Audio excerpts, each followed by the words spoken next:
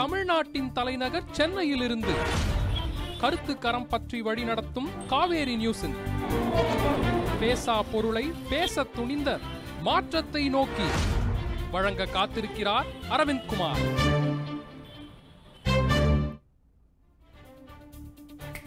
உலகம் முழுவதும் விரவி கிடக்கும் ஒட்டுமொத்த தமிழ் சமூகத்திற்கு காவிரி தொலைக்காட்சியின் இனிய இரவு வணக்கம். தீர்வை நோக்கி ஒரு அடி முன்னே என்பது இலக்காக கொண்டு மாற்றத்தை நோக்கி என்ற தலைப்பில் ஒரு வாரத்தை முன்னெடுக்கிறது காவிரி நியூஸ் தொலைக்காட்சி. அந்த வகையில் இன்று நாம் எடுத்துக்கொள்ளக்கூடிய தலைப்பு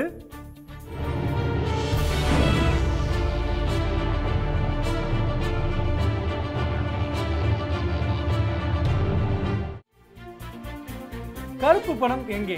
பணம் மதிப்பிழப்பு நடவடிக்கையால் திரட்டப்படும் கருப்பு பணம் என்று சொல்லப்பட்ட அந்த கருப்பு பணம் எங்கே? இது குறித்து தான் இன்றைய தினம் விவாதிக்க இருக்கிறோம். இந்த விவாதத்தில் கலந்து கொள்வதற்காக பாரதிய ஜனதாவின் ராஜலட்சுமி பொருளாதார நிபுணர் ராமசுப்ரமணியன் மற்றும் இளைஞர் பார்வை டாக்டர் ராஜசேகர் ஆகியோர் நம்முடைய இணைகின்றனர் அவருடன் உரையாடுவதற்கு முன்னதாக நாம் தலைப்புச் செய்திகளை பார்த்து விடுவோம் விண்ணில் ஏவப்பட்ட ஐஆர்என்எஸ்எஸ் ஒன் எச் செயற்கைக்கோள் தோல்வியடைந்தது. தொழில்நுட்ப கோளாறு காரணம் என இஸ்ரோ அறிவிப்பு.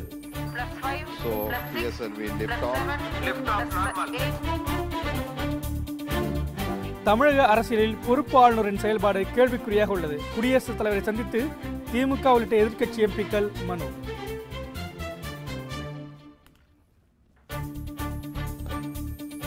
மருத்துவ கலந்தாய்வில் தமிழக மாணவர்களுக்கே முன்னுரிமை என அரசு விளக்கம். பிற மாநிலத்தவர்களுக்கு அதிக இடங்கள் ஒதுக்கப்படும் என்ற தகவலுக்கு மறுப்பு. பெப்சி தொழிலாளர்கள் மீண்டும் வேலை நிறுத்தம் அறிவிப்பு. வரும் நான்காம் தேதி வள்ளூர் கோட்டத்தில் போராட்டம் நடத்த முடிவு.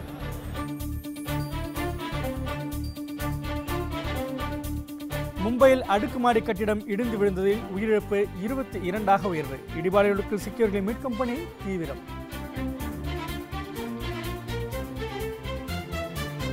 இலங்கைக்கு எதிரான நான்காவது ஒருநாள் கிரிக்கெட் போட்டி முன்னூற்றி எழுபத்தி ஐந்து ரன்கள் குவித்து இந்திய அணி அசத்தல்.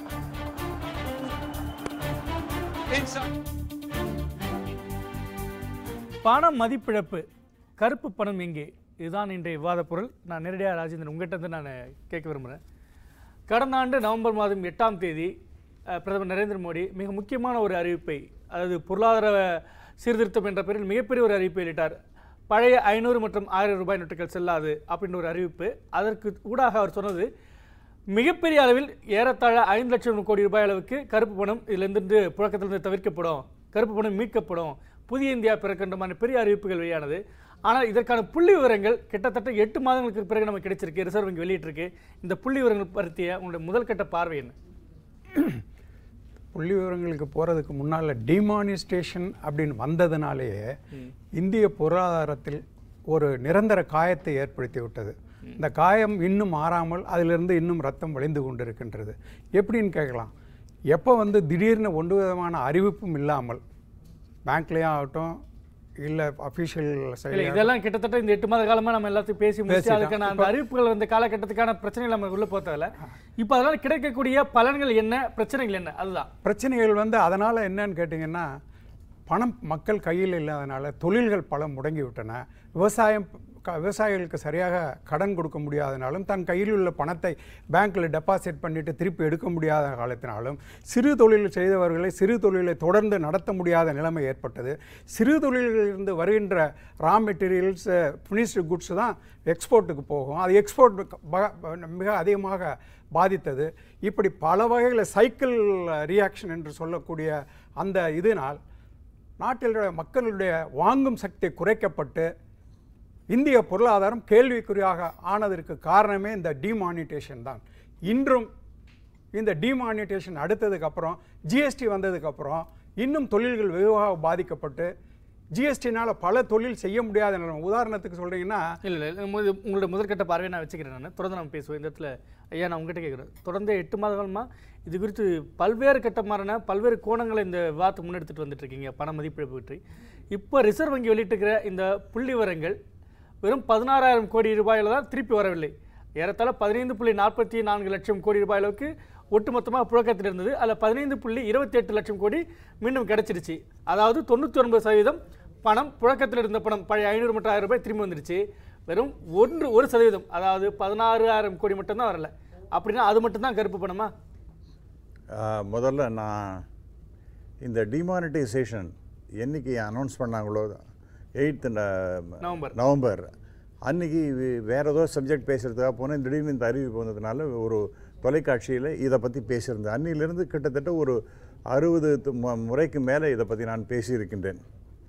நானும் ஒரு பாஜகவை சேர்ந்தவன். தான் அதில் ஒன்றும் சந்தேகம் இல்லை. ஆனாலும் கூட எனக்கு முக்கியமான ஒரு செய்தி என்னவென்றால் ஐ எம் அ ப்ரொஃபஷனல் அந்த விதத்தில் பார்க்கும் பொழுது எனக்கு என்ன மனசில் என்ன சரி என்று படுகின்றதோ அதை தான் நான் பேசணும்னு நான் நினைக்கிறேன். நான் அந்த அனௌன்ஸ்மெண்ட் வந்த பிறகு டெஃபினட்டாக ஏதோ ஒரு மிகப்பெரிய அளவிற்கு மாற்றம் ஏற்படும் அப்படிங்கிறத சந்தேகமே இல்லாமல் இருந்தேன். அது எப்படின்னா ரிசர்வ் பேங்க்கில் ஒரு மூணு வாரத்துக்கு முன்பாக அதாவது எந்த அ- அறிவிப்பு வந்து இந்த ஸ்கீம் க்ளோஸ் ஆகிறதுக்கு மூணு மாதத்துக்கு மூணு வாரம் முன்பு வரை டீடைல்ஸ் கொடுத்துட்டே இருந்தாங்க. அது நின்ன பிறகு பிகாஸ் எனக்கு சம் பேங்க்ஸோட நிறைய கனெக்ஷன்ஸ்லாம் இருக்குது அப்புறம் இந்த இந்த முன்னாள் வங்கி அதிகாரி. அது அதிகாரி இல்லை. I was director I was former director of a bank. அதனால் எனக்கு அந்த காண்டாக்ட் பண்ணுறதுனால சம் இன்ஃபர்மேஷன் அப்படி பார்க்கும் பொழுது பல விஷயங்கள் எனக்கு அப்போவே சந்தேகம் வர ஆரம்பிச்சது. ஸோ கடைசி நேரத்தில் இதனால் நமக்கு பெரிய பலன் ஏற்படுமா அப்படிங்கிற மாதிரி டவுட்ஸ்லாம் வந்தது. ஆக அப்பொழுதே இந்த பணம்லாம் வந்து விடுமோ என்ற ஐயப்பாடு இருந்தது. ரெண்டாவது ஜிடிபி மிகப்பெரிய அளவுக்கு குறையும் என்ற ஒரு பயமும் எனக்கு ஆறு புள்ளி ஒன்றிலிருந்து இப்போது ஐந்து புள்ளி ஏழாக ஜிடிபி குறைந்திருக்கு எக்ஸாக்ட்லி இது நீங்கள் அப்படி ஒண்டி பார்க்கக்கூடாது. ஆக்சுவலாக இல்லை அஞ்சு புள்ளி ஏழு. நீங்கள் எப்போ எடுத்துக்கணும்னா நீங்கள் இப்போ அந்த லாஸ்ட் இயர் எவ்வளவுன்னு பார்த்தீங்கன்னா செவன் பாயிண்ட் ஒன் பர்சன்ட் அது ஒரு நல்ல வளர்ச்சி தான். இன்னைக்கு உலகத்தில் இருக்கக்கூடிய நாடுகளோட இரண்டு சதவீதம் அளவுக்கு கிட்டத்தட்ட இரண்டை நெருங்கக்கூடிய அளவுக்கு குறைஞ்சிருக்கு. செவன் பாயிண்ட் நைன் எப்படி சொல்கிறேன்னா ஃபஸ்ட்டு குவார்ட்டரில் செவன் பாயிண்ட் நைன் ரெண்டாவது குவார்ட்டரில் seven point five third குவார்ட்டரில் seven fourth six point one நீங்கள் ஆவரேஜ் அவுட் பண்ணால் என்ன செவன் பாயிண்ட் ஃபைவ்னு சொன்ன செவன் பாயிண்ட் ஒன்று சொன்னாலும் கூட யதார்த்தம் என்பது இது வந்து வெறும் சிக்ஸ் பாயிண்ட் ஒன்னை தான் நம்ம எடுத்துக்கணும். அதையும் விட கீழே இன்னைக்கு இறங்கி ஃபைவ். பாயிண்ட் செவன் என்கின்ற வகையில் வந்திருக்கின்ற இதைத்தான் நான் பயந்து இருந்தேன். அதாவது கிட்டத்தட்ட ஒரு ஒன்றரைலேருந்து ரெண்டு சதவீத ஜிடிபி குறையும் என்று நான் கவலைப்பட்டிருந்தேன். அது that has become a reality today அது இத்தனை நாளாக அவங்க டீடைல்ஸ் கொடுக்கவே இல்லை. ஆகவே இப்போ வந்த செய்தியின்படி இவ்வளவுலாம் வந்திருக்கிறத பார்க்கும் பொழுது நிச்சயமாக எனக்கு ஒரு மிகப்பெரிய நாம் என்ன பயந்தமோ அதெல்லாம் நடந்து கொண்டிருக்கின்றதே என்பதை தான் நான் பற்றி உங்களுடைய முதல்கட்ட கருத்துக்கு நன்றி. இந்த இடத்துல ஒரு இளைஞர் பார்வையில் டாக்டர் ராஜசேகர் நீங்கள் இந்த மோடி அரசு பொறுப்பேற்ற பிறகு பல்வேறு விதமான தடாலடையான நடவடிக்கைகள் அறிவிப்புகள் நடந்துட்டு இருந்த சூழலில் கடந்த ஆண்டு இந்த வெளியான இந்த பழைய ஐநூறு மற்றும் ஆறு நோட்டுகள் செல்லாது என்ற அறிவிப்பும் அதைத் தொடர்ந்து ஏற்பட்ட பல்வேறு குழப்பங்களும் இப்பொழுது ரிசர்வ் வங்கி வெளியிட்டிருக்க புள்ளி விவரத்தை நீங்கள் எப்படி பார்க்குறீங்க? உங்களுடைய முதல்கட்ட கருத்து என்ன?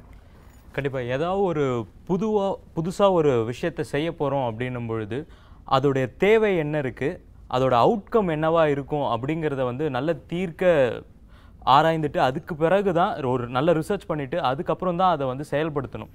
பட் இந்த டிமானிட்டைசேஷன் வந்து ஏதோ தடாலடியாக செய்யப்பட்டதுன்னு நீங்களே இப்போ சொன்னீங்க. இந்த தடாலடியாக செய்யப்பட்டதோட பின்விளைவுகளாக மக்கள் நிறைய பிரச்சனையை சந்தித்தாங்க அதுக்கான பலனும் இதுவரை கிடையாது. அந்த பலன் நம்ம எதிர்பார்த்த அளவுக்கு பலன் இல்லாமல் அவங்க சொன்ன அந்த வளர்ச்சி வார்த்தையில் மட்டும்தான் இருக்கே தவிர ஜிடிபி பொருளாதார வளர்ச்சியும் குறைஞ்சிட்டு தான் போகுது. ஆவரேஜ் வளர்ச்சியாக சிக்ஸ் பாயிண்ட் சிக்ஸ் இருந்த பர்சன்டேஜ் இருந்த ஜிடிபி இப்போ ஃபைவ் பாயிண்ட் செவனுக்கு குறைஞ்சி வந்திருக்கு. சிக்ஸ் பாயிண்ட் ஒன்று லோவஸ்ட்டு அதை விட கம்மியாக இருக்கிறதுங்கிறது வந்து கொஞ்சம் மனசு கஷ்டமான ஒரு விஷயம்தான் செகண்ட் திங் இந்த டிமானிட்டைசேஷன் கொண்டு வர்றதுக்கான முக்கியமான ரீசனாக அவங்க சொன்னது வந்து டு இராடிகேட் பிளாக் மணி கருப்பு பணத்தை ஒழிப்பது அப்படின்னு சொல்லி சொல்லியிருந்தாங்க. கருப்பு பணம் வெறும் ஆயிரம் ரூபாய் தாள்களாகவோ ஐநூறு ரூபாய் தாள்களாக மட்டும் இருக்கிறது கிடையாது. தங்கமாகவும் ரியல் எஸ்டேட்டாகவும் ப்ராப்பர்ட்டிஸாகவும் வெளிநாடுகளில் வங்கிகளில் இருக்கிற பணவா பணமாகவும் தான் அது இருந்தது. அப்படி தான் இருந்துகிட்ருக்கு ஸோ இதுக்கு மேலெல்லாம் இது இது மேலெல்லாம் அவங்களால சர்ஜிக்கல் ஸ்ட்ரைக் பண்ண முடியாது. பதுக்கி வச்சிருக்க தங்கத்து மேலேயோ வெளிநாட்டில் சேர்த்து வச்சிருக்க பணத்து மேலேயோ அவங்களால சர்ஜிக்கல் ஸ்ட்ரைக் பண்ண முடியல பண்ண முடியாது. இது எங்களுடைய பார்வையில் இது எப்படி இருக்குன்னா இது வந்து கார்ப்பரேட் கம்பெனிஸ்க்கு சப்போர்ட்டிவாக பிஜேபி கவர்மெண்ட் செஞ்ச ஒரு உங்களுடைய முதல்கட்ட கருத்துக்கு நன்றி. இந்த இடத்துல உங்கள்கிட்ட அவர் கேட்ட கேள்வி தான் என்னுடைய கேள்வி இருக்கு கருப்பு பணத்தை அது தேர்தல் வாக்குறுதியாகவே ஒரு தடவை சொல்லப்பட்டதாக பல்வேறு எதிர்க்கட்சிகள் தொடர்ந்து கூறியிருந்தாங்க. ஆனால் அப்படி சொல்லப்படலன்றது பிஜேபியுடைய மோடியோட வாதமாக இருக்குது அதாவது வெளிநாட்டில் பதுக்கப்பட்டுள்ள கருப்பு பணத்தை கொண்டு வந்து உங்களுடைய வங்கி கணக்கில் அந்த வாதம் தற்போது முடிந்து போன சூழல்ல அதை பற்றி பேச வேணாம். இப்பொழுது கருப்பு பணத்தை எராடிகேட் பண்ணிடுவோம். கருப்பு பணத்தை ஒட்டுமொத்தமா ஒழித்து விடுவோம் சொல்லப்பட்ட சூழல்ல புழக்கத்துல இருந்த தொண்ணூத்தொன்பது சதவீத நோட்டுகள் திரும்ப வங்கிக்கே வந்துட்ட பிறகு எங்க போச்சு கருப்பு பணம்? கருப்பு பணம் ஒண்ணு இருக்கா இல்லையா? கருப்பு பணம் இருக்கா இல்லை என்பதை விட இவங்க ஒழிக்கல. கருப்பு பணம் எவ்வளோ இருக்குன்னு ஒழிச்சாதானே தெரியும். இவங்க பண்ண பண்ணின வேலை எப்படின்னு கேட்டிங்கன்னா நாட்டு மக்கள் நல்ல பிள்ளைங்களா இருக்காங்க. நோட்டு செல்லாதவங்ககிட்ட கொடுத்துருன்னு சொன்னாங்க நாட்டு மக்கள் கொடுத்துட்டாங்க. கொடுத்துட்டாங்கன்னா எங்க கொடுத்தாங்க. எங்க கொடுத்தாங்க? எதுல கொடுத்தாங்க? இல்ல, தொண்ணூத்தொன்பது சதவீதம் இல்ல நோட்டு. நீங்க கண கருப்பு பணத்தை வரதா இருந்தா இப்போ நீங்க கருப்பு பணம் வச்சிருந்தீங்கன்னா உங்க அக்கௌண்ட்ல போட்டா அதை எடுக்க முடியும். ஒரு உங்களுக்கு ஐநூறு கோடி தான் மொத்த வருமானம்னா ரெண்டாயிரம் கோடி போட்டால் சொச்சத்தை கருப்பு பணம் ஆனால் இவர்கள் செய்த அந்த ஏழைகள் எல்லாருக்கும் பேங்க் அக்கௌண்ட்னு போட்டு இருபதாயிரம் கோடி பேங்க் அக்கௌண்ட் ஓப்பன் பண்ணதுனால இந்த கருப்பு பணம் அத்தனையும் ஒரு இந்த டிமானிட்டேஷன் அனௌன்ஸ் பண்ணுற வரைக்கும் ஏ ஒரு பைசா கூட அந்த அவங்க அக்கௌண்ட்டில் கிடையாதவங்க. அந்த டிமானிட்டேஷன் அக்கௌண்ட் அறிவித்த பின்பு இந்த இருபதனாயிரம் கோடி அக்கௌண்ட்டில் கிட்டத்தட்ட ஒரு ரெண்டு லட்சம் மூணு ஒரு நாலு லட்சம் கோடி அக்கௌண்ட்டில் ஒரு ஐம்பது லட்சம் ஒரு கோடி ரெண்டு கோடி என்று எல்லாம் ஆயிருக்கிறது பூரா. எப்படி வந்தது? அதை நீங்கள் என்ன நினைக்கிறீங்க? அப்போ வங்கி கணக்கு திடீரென்று முளைத்திருக்குது. அந்த வங்கி கணக்குல திடீரென்று ஏராளமான பணம் வந்து சேமிச்சிருக்கு இது வருமான வரித்துறை இது எப்படி பண்ண போகிறாங்க அவங்க? இருக்கின்ற சொற்பமான வருமான வரித்துறை அதிகாரிகளை வைத்துக்கொண்டு இத்தனை லட்சம் வங்கி வங்கி கணக்கிலை எப்படி கையாள்வதுன்றது கேள்வி. ஒன்று. ரெண்டாவது இந்த கருப்பு பணம் என்பது இப்போ அவர் சொன்னது மாதிரி கருப்பு பணம் என்பது பினாமி சொத்து தான் கருப்பு பணம் நிறையா. ப பணமாக யாரும் பதிக்க வைக்கிறது இல்லை பணமாக பதிச்சு வச்சு அந்த சேகர் டிட்டு எடுத்தாங்களே இப்போ ஆயிரம் கோடி அது மாதிரி எடுத்துருவாங்க. கருப்பு பணம் என்பது எல்லாம் முதலீடு செய்யப்பட்டது. அவர் சொன்ன மாதிரி தங்கத்தில் ஃபாரின் பேங்க் அக்கௌண்ட்டில் அது கண்டுபிடிக்க முடியாத இடங்கள் இருக்குது இப்போ நீங்கள் சுவிஸ்லேயோ அல்லது ஹெவன் பிளாக் மணி ஹெவன் சொல்லி இந்த இல்ல இப்ப இரட்டை வரி விதிப்பு முறை பல நாடுகள் அந்த ஒப்பந்தம் போடப்பட்டிருக்கு. அதனால பல விவரங்கள் அது காங்கிரஸ். பீரியட்லயே போட்டிருந்தது. இதையெல்லாம் தப்பிக்கிறதுக்கு இன்னொரு பல வகையான பல வகையான மாற்றங்கள் வந்து விட்டதுனால அதுலயும் இப்ப கருப்பு பணம் இருக்கு. தங்க நகையா வச்சிருக்காங்க. பினாமி சொத்து வச்சிருக்காங்க. இதெல்லாம் அவர்களால ஒழிக்க முடியல. ஒழிக்க முடியாது. ஒழிக்கணும்னா பினாமி சொத்து வாங்குவதை தடுக்க வேண்டும் முதல்ல. அந்த மாதிரியான ஒரு சில நடவடிக்கைகள் எடுக்க வேண்டும் இல்லையே? இந்த டிமானிட்டேஷனால் நான் இந்த மாதிரி வந்து பினாமி சொத்துக்கு அதுக்காக ஆல்ரெடி ஒரு அது இப்ப வந்திருக்கு. கொண்டு வந்தாச்சு. போட்டாங்க. அதனால இல்லைன்னு அது- நீங்க சொல்ல முடியாது. இல்ல இல்ல இப்போ அதுக்கு இப்போ லேட்டஸ்ட்டாக இப்போ பினாமி இது ஒரு பில் போட்டு வந்திருக்கு. பட் டிமானிட்டேஷனால இவங்க சொல்லக்கூடிய ஆப்ஜெக்ட் இது மாதிரி கருப்பு பணம் ஒழிக்கிறது கவுண்டர்ஃபிட் நோட்டு ஒழிக்கிறது. கவுண்டர்ஃபிட் நோட்டு எங்க ஒழிச்சிருக்காங்க? கவுண்டர்ஃபிட் நோட்டு சேர்த்து தான் பேங்க்குள்ள வந்திருக்கு இப்போ. கவுண்டர்ஃபிட் நோட்னு தனியா பேங்க்ல அக்கௌண்ட் பண்ணாம இருந்திருந்தாங்கன்னா கவுண்டர்ஃபிட் நோட்டை தனியா கண்டுபிடிச்சிட்டோம். நாங்க இது பண்ணிட்டோம்னு சொல்லலாம். நம்ம. இன்க்ளூடிங் கவுண்டர் ஃபிட் நோட்டு தான் இந்த 99% பெர்சன்ட் நோட்டு வந்திருக்கு. கவுண்டர் ஃபிட் நோட்டு எங்க இல்ல கண்டுபிடிச்சாங்க? நம்ம தொடர்ந்து பேசுவோம். அதனால இதெல்லாம் கேள்வி இந்த கேள்வி பதிவு செய்யப்படுகிறது. டிமானிட்டேஷனால இந்தியாவினுடைய பொருளாதாரம் வெகுவாக பாதிக்கப்பட்டது. இந்திய மக்கள் மிகுந்த சிரமத்துக்குள்ளானார்களே தவிர அதனால் இந்திய நாட்டுக்கோ இந்திய மக்களுக்கோ இந்திய இது உங்களுடைய இது பொதுவா நான் கேட்ட கேள்வி தாண்டி இது ஒரு பொதுவான கருத்தா உங்களுடைய கருத்தை நான் புரிஞ்சுக்கிறேன். தாண்டி இந்த இடத்துல விவாதத்தில் நம்மோடு தற்போது இணைகிறார் திருமதி ராஜலட்சுமி. வணக்கம் மேடம். வணக்கம். அது ஏற்கனவே நாம் பேசிட்டு இருக்கிற விவாதத்தின் பொருள் என்றால் கருப்பு பணம் எங்கே?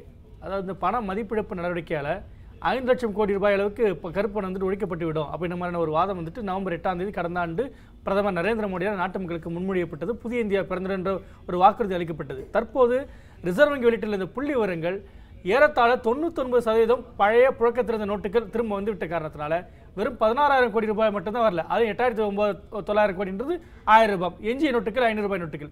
இது மட்டும் தான் வரலன்றப்போ எங்கே போச்சு கருப்பு கருப்பு பணம் இருக்கா இல்லையா? நாம மீட்டமா இல்லையா? அதாவது இன்னைக்கு கருப்பு பணம் வந்து மீட்டமா டிமானிட்டைசேஷன் அதுக்கு உதவிச்சா அப்படின்னு பார்க்கும்போது இதை தனியாக நம்ம பார்க்க முடியாது. இது நம்ம ஜிஎஸ்டியோட சேர்ந்து தான் பார்க்கணும்.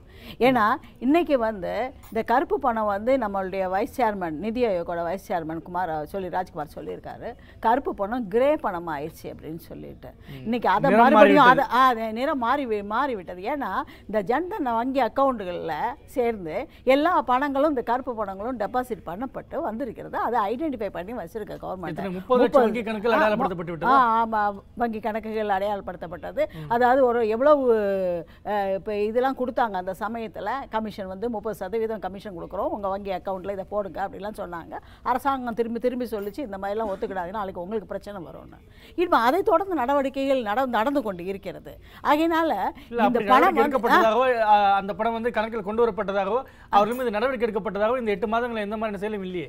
அதாவது இந்த அறிக்கை அறிக்கை இந்த அறிக்கை வந்து இதுல நீங்க தான். ரிசர்வ் பேங்க் அறிக்கை வந்து அது எவ்வளவு வந்தது அது என்ன நடந்தது என்பதை தான் குறிக்குமே தவிர அது வந்து அரசாங்கம் அது தனி டிபார்ட்மெண்ட் அது ஒரு நடவடிக்கை எப்படி எடுக்கப்படுகிறது என்பது பார்க்கணும். அடுத்தது இன்னொன்று நம்ம அன்பர் சொன்னார் வந்து கருப்பு பணம் வந்து பினாமி அதை இருக்கிறது பினாமி அக்கௌண்ட்ல இருக்குது அப்படின்னு. இது இந்த காங்கிரஸ் அரசாங்கம் ரொம்ப காலமாக இந்த பினாமி இல்ல ஏல இல்ல சாதாரணமாக இந்த மாதிரி ஒரு கருப்பு பணம் வந்து இவ்வளவு அக்குமுலேட் பண்ணி இருக்கு நாட்டுல. அந்த கருப்பு பணத்தை வெளியே கொண்டு வர்றது வந்து நீங்க வந்து இன்னைக்கு இருக்க திட்டங்கள் மூலமாக இந்த டிமானிட்டைசேஷன் வந்து ரொம்ப போல்ட் ஸ்டெப் ஒரு ஒரு நல்ல ஒரு பொலிட்டிக்கல் வில்லோட அதை பண்ணியிருக்காங்க. பண்ணியிருக்கிறதுனால தான் இவ்வளவு விஷயம் நடந்திருக்கிறது. அதனால இன்னைக்கு வந்து ஒரு வளர்ச்சி சதவீதம் குறைந்திருக்கிறது அப்படின்னு பார்க்கும்போது இன்னைக்கு வந்து ஜிஎஸ்டி வந்ததுனால தொழில் முனைவோர்கள் அந்த உற்பத்தியாளர்களை என்ன பண்றாங்க? இருக்கிற ஸ்டாக்கை ரிலீஸ் பண்றாங்க. அதை கிளியர் பண்ணிக்குவோம் அப்படின்னு சொல்லிட்டு. இருக்கிற ஸ்டாக்கை ரிலீஸ் பண்ணதுனால புதியான புதிதான உற்பத்தி இல்லை. கொஞ்ச நாளைக்கு அந்த புதிய புதிய உற்பத்தி ஒரு ஒரு. உற்பத்தி இல்லாமல் ஒரு தேக்கமாக இருக்கிறது அப்படி மட்டுமே எண்ணி பார்த்துட்டு சுருக்கி விட முடியுமா என்ன? அப்படித்தான் அப்படிதான் எண்ணி பார்க்கணும் அப்படிதான் நடந்திருக்குது. அப்படிதானா? ஆகையினால தான் இண்டஸ்ட்ரியல் நீங்க பாத்தீங்கன்னா இண்டஸ்ட்ரியல் growth வந்து ரொம்ப கொஞ்சம் கணிசமாக குறைஞ்சிருக்கு. மூணு சதவீதம் அளவுக்கு குறைஞ்சிருக்கிறது. மற்ற growth நீங்க பா நீங்க பாத்தீங்கன்னா ஏழு சதவீதத்தில் கிட்டத்தட்ட கடந்த ஆண்டுகளில் வச்சு வச்சுக்கிட்டு ஸ்டெபிளைஸ் பண்ணி வச்சிருந்தோம். ஆனா இன்னைக்கு நமக்கு பெரிய பெரிய அளவு மேக்ரோ எக்கனாமிக்ஸ் காம்ப்ளெக்ஸ் வந்து இன்னைக்கு வந்து ஒரு நல்ல ஒரு அடித்தட்டாக நல்ல ஒரு அமைப்பாக மாறி இருக்கிறது இந்தியாவில். இது இதற்கு முன்னால இப்படி கிடையாது.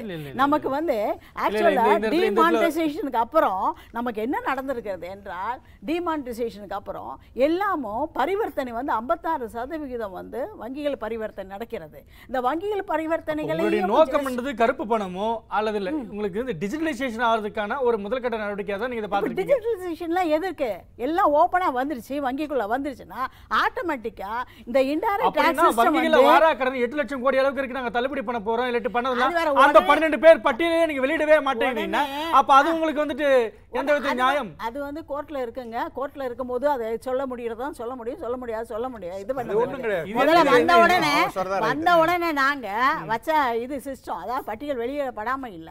வந்த உடனே நாங்க வந்து அதற்காக குழு அமைக்கப்பட்டது பரிந்துரைக்கப்பட்டது அதனுடைய கமிஷன் அப்போ எல்லாத்தையும் வெளிப்படைத்தன்மையா இருக்கணும் எல்லாம் வெளிப்படைத்து அதுக்கு தான் வந்து இப்போ டிஜிட்டல் பரிவர்த்தனை கொண்டு வந்திருக்கோம். இனிமே என்ன வருமானம் வருகிறது என்ன டாக்ஸ் கட்டுறாங்க எவ்வளவு டாக்ஸ் எவேஷன் நடக்கிறது எவ்வளவு கருப்பு பணம் எடுபடுகிறது இனிமேல் கருப்பு பணம் இத்தனை ஆண்டு. காலமாக கருப்பு பணம் இத்தனை லட்சம் கோடிகளுக்கு புழங்கிட்டு இருக்குன்னு சொல்லப்பட்ட அந்த வாதம் வெறும் கற்பனை தானா? கருப்பு பணம் இருந்ததுனால தான் நம்ம நாட்டுல வந்து இவ்வளவு பிரச்சனைகள் இருந்தது. நமக்கு வந்து டெரரிசத்தை இன்னைக்கு கண்ட்ரோல் பண்ணியிருக்கோம். பேலன்ஸ் ஷீட் படி ரிசர்வ் வங்கி புழங்கப்பட்டிருக்கிறது. வெளியிட்டு அந்த பேலன்ஸ் ஷீட் படி எங்க எங்க இருக்கின்ற கருப்பு பணம்? இந்த கேள்விக்கு பதிலே இல்ல கருப்பு பணம் வந்து கருப்பு பணமோ எகிருக்கிற பணமோ பதுக்க வைக்கப்பட்ட பணமோ நமக்கு வந்து இந்தியாவில் இருந்த பணம் இன்னைக்கு இதுல வந்து வெளியே வந்துட்டு அக்கௌண்ட்ல வந்துருச்சு. அக்கௌண்ட்ல வந்தது அடுத்தது வந்து அவர்களுடைய உண்மையான பணம்னா அவங்க இவங்க கிளைம் பண்ணணுமா?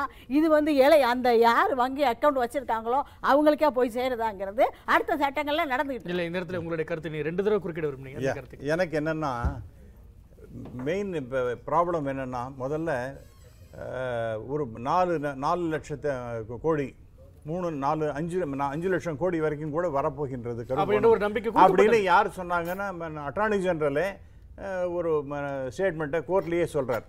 ஆக அது வருமா? அப்படின்னு ஏன்னா it was a very big amount ஆகவே அப்பனா நிச்சயமா இது ஒரு பெரிய சக்ஸஸாக தான் ஆகும் அப்படிங்கிற மாதிரி தான் என்னுடைய எண்ணமாக இருந்தது. ஆனால் இன்னைக்கு பார்த்தீங்கன்னா கழுது தேஞ்சு கட்டரும்பா வெறும் பதினாறாயிரம். இன்னும் சொல்லுகின்றேன் பதினாறாயிரம் கிடையாது. ஏன் எடுத்துட்டீங்கன்னா நம்ம ரிசர்வ் பேங்க் அவங்க என்ன சொல்லணும்? இப்போ இந்த பணம்லாம் வந்தது அவங்களுடைய ஒரிஜினல் பிளான் என்னென்னா இந்த மாதிரி பணம் வந்ததுன்னா சர்ப்ளஸாக இருக்கிற எல்லா பணத்தையும் டிவிடெண்டாக சென்ட்ரல் கவர்மெண்ட்டு கொடுத்தாகணும். அப்படி நீங்கள் பண்ணாங்கன்னா பண்ணினாங்களான்னு பார்த்தா இப்போ வந்தது ஒன்றுமே கிடையாது வெறும் பதினாறாயிரம் கோடி தான். அடுத்ததாக உங்களுக்கு இப்போ போன வருஷம் டிவிடெண்ட் எவ்வளோ கொடுத்துருக்காங்கன்னு பார்ப்போம். ஏன்னா I was very keen to know about the dividend outgo from reserve bank அது அறுபத்தையாயிரத்தி எண்ணூற்றி தொண்ணூத்தாறு கோடி.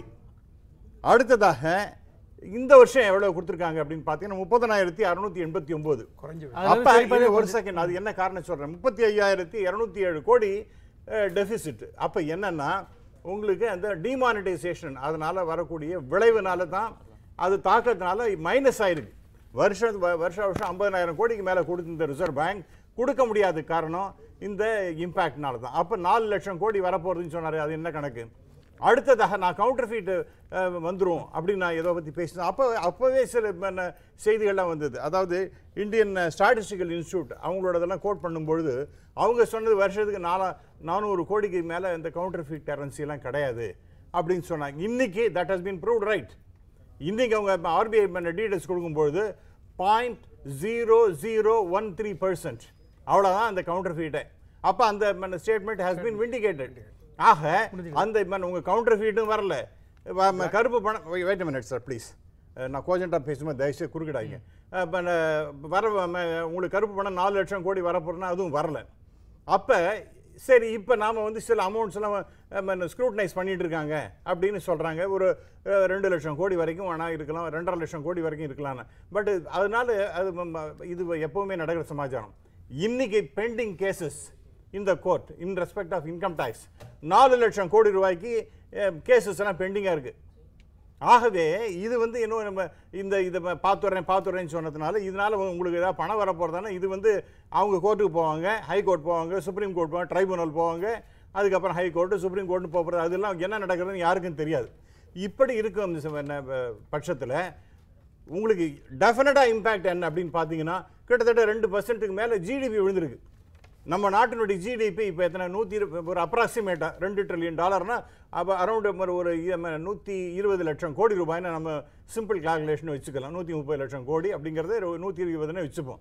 அதில் உங்களுக்கு எவ்வளவு பணம் போயிடுது அப்படின்னு பார்த்தீங்கன்னா கிட்டத்தட்ட ரெண்டு பர்சன்ட் அப்போ அதுவே உங்களுக்கு ரெண்டரை லட்சம் கோடி போயிடுது. உங்களுக்கு ரெண்டரை லட்சம் கோடியும் போயிடுது. அப்போ நீங்கள் இந்த இன்கம் டேக்ஸ் அடுத்தது இப்போ நம்ம மத்திய அரசே சொன்ன ஸ்டேட்மெண்ட் என்னென்னா இந்த மூணு மாதத்தில் பதினஞ்சு லட்சம் பேருக்கு வேலை போயிருக்கு. This is an official statement அடுத்ததாக முப்பத்தி எட்டு பர்சன்ட் எஸ்எம்இ செக்டார் க்ளோஸ்ட் அவங்களால எழுத முடியாச்சு. இது வந்து தொடர்ந்தாப்பில் இதே மாதிரி இருக்கும்பொழுது எக்கானமி வித்தவுட் ஜாப் அப்படி கிரியேஷன் அப்படிங்கிற மாதிரி இருந்தது. வேறு மாற போகிறது அப்படின்னு நினச்சா இப்போ கழுது தேஞ்சு கட்டரும்பானா உங்களுக்கு வேலையும் போச்சு. அப்புறம் வந்து economy has also been thoroughly affected. அதுவே உங்களுக்கு ரெண்டரை லட்சம் மூணு லட்சம் கோடி ரூபாய் போச்சு. அந்த ஜிடிபி அதெல்லாம் ஆயிடுது. இது தொடர்ந்து இது வந்து இட் இஸ் ஸ்பில் ஓவர் இது போன வருஷத்தோட போன லாஸ்ட் குவார்ட்டரோட அது வந்து ஆறு புள்ளி ஒண்ணுன்னு இருந்து அதையும் தாண்டி கீழே இன்னைக்கு அஞ்சு புள்ளி ஏழுன்னு வருது. ஆகவே இதெல்லாம் பார்க்கும்பொழுது என்ன அவங்களால பண்ண முடிஞ்சது? So these are all some of issues அப்புறம் நான் உங்களுக்கு இன்னும் சில இந்த பாயிண்ட் நம்ம திரும்பி பேசுவோம் நம்ம நீங்கள் இதே குறிப்பிட்டது போல தொழில்துறை நசிக்குது நீங்கள் தான் முதல்ல அந்த பாயிண்ட்டையும் சொல்ல ஆரம்பிச்சீங்க. எந்த அளவுக்கு தொழில்துறையை வந்துட்டு கடந்த மூன்றாண்டுகளில் குறிப்பாக இந்த பண மதிப்பீடுக்கு பிறகு எந்த அளவுக்கு தமிழக தொழில்துறை இல்லை இந்திய தொழில்துறை எந்த அளவுக்கு நசிவு சந்திச்சிருக்கு இதில் மீட்பதற்கான கூறுகள் ஏதாச்சும் அவங்க சொல்லது போனால் இது ஒரு தொடர் சங்கிலி நிகழ்வு. இதுக்கப்புறம் வந்துட்டு எல்லாமே சரியாக்கப்படுன்ற மாதிரி இதுக்கான உங்களுக்கு நம்பிக்கை இருக்கிறதா? இல்லை நம்பிக்கை இருக்கிறதுன்னா அது இதனுடைய எஃபெக்ட் வந்து இன்னும் பதினஞ்சு இருபது வருஷத்துக்கு இருக்கும். இந்த டிமானிட்டேஷனுடைய எஃபெக்ட் வந்து இன்னும் பதினஞ்சு வருஷத்துக்கு இருக்கும். அப்படி பதினஞ்சு வருஷத்துக்கு இருக்கும்போது இந்த நலிந்த தொழில்கள் தொழிலை இப்போ தான் ஆரம்பிக்கலான்னு கட்டடம் கட்டி நின்று நின்னவங்க தொழிலை தொடங்கலாம்னு நினச்சி பிளான் பண்ணி இப்போ எஸ்டிமேட்லாம் மேக் இன் இந்தியா அப்படி ஏகப்பட்ட திட்டங்கள் வந்து மேக் இன் இந்தியாங்கிறதே ஒரு ஒரு மாயையான இது. நான் என்ன சொல்கிறேன்னா மேக் இன் இந்தியானா இப்போ மோடி சொல்லி make in இந்தியாங்கிறது it is very big attractive word இப்போ மேக் இன் இண்டியான்னு யார்கிட்ட சொல்கிறீங்க ஃபாரினில் இருக்கிறவங்ககிட்ட சொல்கிறீங்க ஃபாரின்லேருந்து வந்து என்ன நான் மேனுஃபேக்சர் பண்ணணுன்னு வருவானா? நீ தான் சொல்லணும். உதாரணத்துக்கு சொல்லணும்னா ஐந்தாண்டு திட்டத்தில் காங்கிரஸ் போடும்போது நமக்கு ஆன்டிபயோட்டிக் மெடிசன் இல்லாமல் இருந்தது. எல்லாம் நம்ம இம்போர்ட் பண்ணிகிட்டு இருந்தோம். ரஷ்யாவினுடைய கூட்டோட ஆன்டிபயோட்டிக் மா வருஷத்துக்கு முந்நூறு டன் தேவைங்கிறதுக்காக ஐந்தாண்டு திட்டத்தில் சேர்க்கப்பட்டு ரஷ்யாவினுடைய உதவியோடு ஆன்டிபயோட்டிக் நீ வந்து எனக்கு தயார் பண்ணி கொடுக்கணும் கொடுக்கணும்னு சொன்னோம். கரண்ட் எடுக்கிறதுக்கு நமக்கு இன்னும் நிறைய கரண்ட் தேவை. நெவிலியில் லிக்னைட் இருக்குது அது ஐந்தாண்டு திட்டத்தில் சேர்த்து நீ வந்து இதை கட்டி கொடுன்னு சொன்னோம். அதே மாதிரி நம்ம வி- நம்ம வந்து ஒரு இந்த தொழிலை எனக்கு பண்ணு. நாங்கள் இவ்வளோ எங்ககிட்ட ரா மெட்டீரியல் இருக்கு. இதெல்லாம் அப்படின்னு. அப்படியெல்லாம் சொன்னாதான் யாராவது வந்து நம்மகிட்ட தொழில் தொடங்குவாங்க. அது மாதிரி தொழில் தொடங்கப்பட்டது தான் காங்கிரஸ் காலத்துல கிட்டத்தட்ட ஒரு ஐயாயிரத்தி ஐநூறு தொழில்கள். இப்ப ராஜலட்சுமி குறிப்பிட்டது போல இப்பொழுது இது ஒரு தொடர் சங்கிலி நிகழ்வா இருக்கும்போது இது ஜிஎஸ்டியை இணைத்து பார்க்கணும். ஜிஎஸ்டிக்கு பிறகு இப்ப இந்த தேக்க நிலை சிறிது காலத்துக்கு பிறகு மீண்டும் தொழில்துறை ஒரு வளர்ச்சியை நோக்கி போகின்ற ஒரு நம்பிக்கை ஒரே. நிமிஷம் ஒரே நிமிஷம் சார். ஜிடிபிங்கிறது வந்து இத்தனை நாள் இங்க பேசிட்டு இருந்தாங்க. இன்னைக்கு ஜிடிபியை வச்சு நம்ம மெஷர் பண்ணக்கூடாது. இந்தியா வந்து அந்த தகுதியை இழந்துட்டது. இன்னைக்கு வந்து கிராஸ் வேல்யூ ஆர்டர் மெஷர் அது ஒரு ஒரு. சிஸ்டம் நான் வாட் இஸ் த டிஃபரன்ஸ்ங்கிறத நான் சொல்ல விடுங்க. ஜிடிபிங்கிறது வந்து எல்லா இந்தியாவுல இருக்கக்கூடிய அத்தனை இந்த எளி- எளிமையான விளக்கங்கள் பெரும்பாலும் இருக்கு. இல்ல இல்ல இதுக்கும் அதுக்கும் உள்ள வித்தியாசம். ஏன் ஜிடிபி நம்ம இன்னைக்கு சொல்ல ஜிடிபின்னு சொல்லக்கூடாது கிராஸ் வேல்யூ அடிஷன் சொன்னோம்னா ஜிடிபி வச்சு நம்ம மெஷர் பண்ற அளவுக்கு இந்தியாவுடைய பொருளாதாரம் தாழ்ந்து விட்டது. கிராஸ் வேல்யூடுங்கிறது வந்து இன்டைரக்ட் டாக்ஸஸ் சில இல்ல, இதுலாம் இ- சேர்ந்து- இ- நான் இருவேறு அளவீட்டு. முறைகள் சார் அது? இருவேறு அளவீட்டு முறைகள் சார் அளவீட்டு முறைகள். பட் அதுல இருந்து இதுல கீழே இறங்கி வந்துட்டோம். ஏன்னா அதுல மோர் இன்ஃபர்மேஷன் we needed. அந்த இன்ஃபர்மேஷன் வர்ற அளவுக்கு தொழில்களும் இல்லை உற்பத்தியும் இல்லை. அதனால ஜிடிபியை எப்படி மெஷர் பண்ணுவோம் அதை விட்டுட்டு இது ஒண்ணே நம்மளுடைய ஜிடிபி குறைஞ்சதுக்கும் உலக நாடுகள் நம்முடைய பொருளாதாரம் தாழ்ந்ததற்கும் இது ஒண்ணே போதும். சரி ஓகே உங்களுக்கு கருத்து நன்றி. இந்த இடத்துல நீங்க குறிப்பிட்ட ஒரு கருத்தை மட்டும் நான் இப்ப கேட்க விரும்புறேன். சரி. அதாவது இந்த எவ்வளோ காஸ்ட் காஸ்ட் ஆஃப் இதில் இந்த இப்ப நாம சொன்னதுன்னா நீ பதினாறாயிரம் கோடி தான் வரலைங்கிறதுக்கு இன்னொரு முக்கியமான விஷயம் விச் ஐ வாண்ட் ஹைலைட் அது எல்லாருக்கும் தெரிஞ்சது தான் காஸ்ட் ஆஃப் அந்த இதை இந்த நம்ம பிரிண்டிங் நோட்ஸ் அது வந்து ஏழாயிரத்தி தொள்ளாயிரத்தி அறுபத்தஞ்சு கோடி அப்படின்னு இவங்க கணக்கு. ஆக்சுவலாக இவர் பி சிதம்பரம் சொல்றாரு இருபத்தி ஓராயிரம் இருபத்தி ஓராயிரம் கோடி அப்படின்னு சொல்றாரு. அப்போ இதுக்கு அதை விட அதிகமாக இப்போ எடுத்துங்கிறார். அதெல்லாம் விட்டுடுவோம். ஆனால் நாம ஏழாயிரத்தி எண்ணாயிரம் கோடி ரூபாய்னே எடுத்துப்போம். அப்படி எடுத்துட்டாலும் கூட நீங்க நான் சொன்ன கணக்குல அதையெல்லாமும் கணக்குல எடுத்துட்டு உங்களுக்கு அந்த முப்பத்தி ஐயாயிரம் கோடிக்கு மேல ஒட்டுமொத்தமாக இழப்பு வந்து ஒரு லட்சத்தி இருபத்தெட்டாயிரம் கோடி அளவுக்கு போயிட்டு இருக்கிறதா சில புள்ளி விவரங்களும் இருக்கு. இருங்க நான் இன்னொரு விஷயம் முக்கியமான விஷயம். இது வந்து because I have some sources from reserve bank of India அதில் என்னென்ன வருஷத்துக்கு சார் ஒரு லட்சத்தி ஐம்பதனாயிரம் கோடி ரூபாய்க்கு மேலே பிரிண்ட் பண்ணுவாங்க. அந்த பிரிண்ட் பண்ணும்பொழுது அதுக்கு ஈக்குவலண்ட்டாக இருக்கக்கூடிய அந்த பழைய நோட்டுகள் அதை டெஸ்ட்ராய் பண்ணுவாங்க. இதை கணக்கில் எடுத்துக்காம கிட்டத்தட்ட மூணு லட்சம் கோடி ரூபாய்க்கு புதுசாக பணம் வந்துடுது அதை தவறையும் ப- அந்த பழசையும் நீங்கள் டெஸ்ட்ராய் பண்ணலை. அப்போ ஒரு மிஸ்மேட்ச் இப்போ என்ன சொல்கிறாங்க ஜிடிபிக்கு பன்னெண்டு பர்சன்ட் வரைக்கும் போயிடுது. இது இது அதாவது கேஷு ரொம்ப அதிகமாக போயிடுது. ஆகவே அதை நாம் குறைக்கணும். இப்போ எட்டு பர்சன்ட் உலக அளவில் இருக்குது அவ்வளவு குறைக்கணும் அப்படின்னு சொன்னாங்க. இப்போ அந்த எட்டு பர்சன்ட் அந்த அந்த நான் சொன்னேன் பாருங்க அந்த ஒரு லட்சத்து இருபத்தி ஏழாயிரம். அந்த அளவுக்கு நீங்கள் பிரிண்ட் பண்ணாத விட்டதுனால ஒரு அக்கௌண்டிங் ஜக்லரி பண்ணியிருக்காங்க அக்கவுண்டிங் ஜக்லரி கிட்டத்தட்ட நீங்க- லட்சம் கோடி. சொல்லக்கூடிய வாதனை அடுத்தடுத்த நாட்கள்ல மிகப்பெரிய அளவுக்கு ஒரு வாய்ப்பு நினைக்கிறேன். இது வரதுக்கு டெஃபினட்டா வாய்ப்பு உண்டு. ஆகவே அது அது ஒரு முக்கியமான நம்ம விஷயம். ஆகவே நம்ம இடத்துல ஒரே செகண்ட் டிஜிட்டலைசேஷனை பத்தி பேசுறாங்க. அதுதான் ஏன்னா முதல்ல அது அந்த இது கோல் போஸ்ட்டை மாத்தி மாத்தி பேசும்பொழுது முதல்ல என்ன நான் கரு பணத்தை ஒழிச்சுடுவேன் அப்படின்னு சொல்லிட்டு ஆரம்பிச்சாங்க. அதுக்கப்புறம் டிஜிட்டலைசேஷன் வரப்போகின்றது அப்படிங்கிற மாதிரி. இன்னைக்கு நான் வந்து அதுக்கு நான் உங்களுக்கு இன்ஃபர்மேஷன் சொல்லுகின்றேன். முன்னாடி ரெண்டாயிரத்தி அஞ்சு ரெண்டாயிரத்தி பதினஞ்சு அந்த மாதிரி இதில் எவ்வளோ டிரான்சாக்ஷன்ஸ் அப்படி போட்டிங்கன்னா தொண்ணூற்றி நாலு லட்சம் கோடி ரூபாயுடைய டிஜிட்டலைசேஷன் அது முடிய நடந்தது. பிறகு ஒரு ஃபிலிப் கிடைச்சிது. இந்த நடுப்புற இந்த டிமானிட்டைசேஷன் வந்த பிறகு. அதுக்கப்புறம் பார்த்தீங்கன்னா இப்போ கேஷ் டிரான்சாக்ஷன் அதிகமாக போனதுனால தொண்ணூற்றி நாலு புள்ளி மூணு லட்சம் கோடி ரூபாய்கள் தான் இப்போ டிஜிட்டலைசேஷன் நடக்கிறது ஆக பழைய குருடி கதவு திரட்டி விட குறைவாக இல்ல அதே அதே அளவுக்கே போயிருது. கொஞ்சம் தான் கூட நோக்கம் வந்து நிறைவேறல. இதெல்லாம் நான் இந்த ஸ்ட்ராட்டஜிஸ்னா ஐ எம் கிவிங் ஃப்ரம் புரிஞ்சுக்கிறேன், ஆகவே நீங்க please don't try to wriggle out of this problem by saying digitalisation digital முன்னாடி இருந்து என்ன இருக்கோ அதை விட ஒரு பாயிண்ட் த்ரீ தான் அதிகமாக ஆகி இருக்கு இது எந்த விதத்துல அது இதுக்கு கொடுக்கப்பட்ட விலை என்பது எவ்வளவு பெரிய விலை? இதெல்லாம் நாம பேச ஆரம்பிச்சோம்னா அதெல்லாம் நிறைய இதை இதைத்தான் நான் வந்துட்டு டாக்டர் ராஜ் உங்கள்கிட்ட கேள்வி கே கேட்க விரும்புறேன் இந்த பொருளாதார இழப்புகள் என்ற தாண்டி சமூக இழப்புகள் என்ற அடிப்படையில் பார்த்தீங்கன்னா அந்த ஐம்பது நாட்கள் நவம்பர் எட்டுக்கு பிறகு ஜனவரி முதல் வாரத்தில் இந்த ஐம்பது நாட்கள் எந்த அளவுக்கு மன உளைச்சல் எந்த அளவுக்கு வந்துட்டு வங்கி ஏடிஎம் வாசல் நம்மள காத்து கிடந்தோம்? எந்த அளவுக்கு வந்துட்டு பெரிய சில இடங்களில் உயிரிழப்பு நேரிட்டது? இந்த மாதிரியான சமூக இழப்புகளுக்கு விலையா இப்பொழுது இதுக்கு சாத்தியப்படுத்திருக்கா இல்லையான்றது உங்களுக்கு பார்வையில் கண்டிப்பாக அதுக்கு முன்னாடி அவங்க சொன்ன மாதிரி ஒரு முக்கியமான விஷயம் வந்து make in India scheme. Make in India பற்றி பேசும்பொழுது பிற நாட்டுடைய இன்வெஸ்ட்மெண்ட்டு இங்கே வருதா அப்படிங்கிறது ஒரு பெரிய சந்தேகத்தில் இருக்குது ஒன்று second thing make in India எந்த அளவுக்கு இந்தியாவுடைய பொருளாதாரத்தை உயர்த்தும்ங்கிறது வந்து ஒரு மிகப்பெரிய கேள்விக்குறி தான் நம்மளுடைய வளத்தை அழிக்கிறதுக்கான ஒரு முயற்சியாக தான் நாங்கள் இதை பார்க்குறோம். ஏன்னா மேட் இன் இந்தியா அப்படின்னு சொல்லியிருந்தாங்கன்னா அது ஒரு வித்தியாசமான அப்ரோச்சாக இருந்திருக்கும். ஒரு நல்ல வளர்ச்சி பாதைக்கு கொண்டு போயிருக்கும் இந்தியாவை. ஒரு முக்கியமான விஷயம். ஏன்னா இந்தியா இந்தியாவில் உற்பத்தி பண்ணுற பொருள் இந்தியாவில் வந்து ப்ராடக்டாக ஆகிட்டு அதை வந்து நம்ம எக்ஸ்போர்ட் பண்ணும்பொழுது அந்த இன்கம் நம் நம்மளோட பொருளாதார உயர்வு வந்து கண்டிப்பாக இருந்திருக்கும். செகண்ட் திங் இன்ஃப்ளேஷன் பற்றி பேசியிருந்தாங்க. Two thousand eight two thousand five அந்த டைமில் வேர்ல்டு ஃபுல்லாக குளோபல் இன்ஃப்ளேஷன் இருந்த டைம். இன்ஃப்ளேஷன் இருந்த டைமில் இந்தியாவுடைய பொருளாதாரம் மட்டும் சரியாமல் இருந்ததுக்கு என்ன ரீசனாக இருந்திருக்கும்?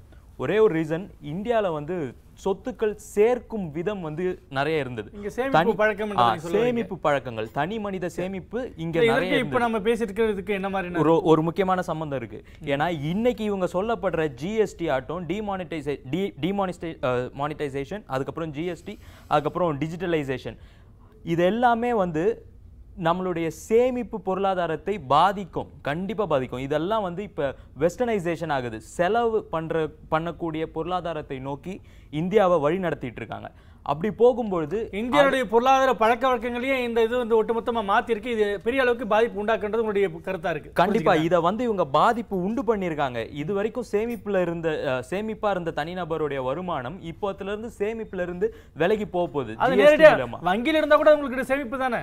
வங்கியில நீங்க வங்கியில வங்கியில இருக்கு அப்படிங்கிறது வந்து நீங்க அந்த fifteen point two seven thousand crores வந்து லேக் க்ரோர்ஸ் வந்து உள்ள வந்திருக்குங்கிறத வச்சு சொல்றீங்க. அது மட்டும் இல்லாம டிமானிட்டைசேஷனோட அடுத்த எஃபெக்டா பிஜேபி கவர்மெண்ட் அனௌன்ஸ் பண்ண ஒரு விஷயம் வந்து ஜிஎஸ்டி ஜிஎஸ்டி அதுக்கப்புறம் மேக் இன் இந்தியா ஸோ இது எல்லாமே நம்ம வந்து ஒரு ஒரு ஷெல்லுக்குள்ள வச்சு இதைத்தான் அவங்களும் சொல்றாங்க. எல்லாத்தையும் தனித்தனியா பார்க்கறதுல ஒட்டுமொத்த இது. எல்லாமே ஒட்டுமொத்தமா வச்சு பார்க்கும்பொழுது இது வந்து சேமிப்பு பொருளாதாரத்தில் இருந்து நம்மள வந்து டைவர்ட் பண்ணி வெஸ்டர்னைசேஷன்.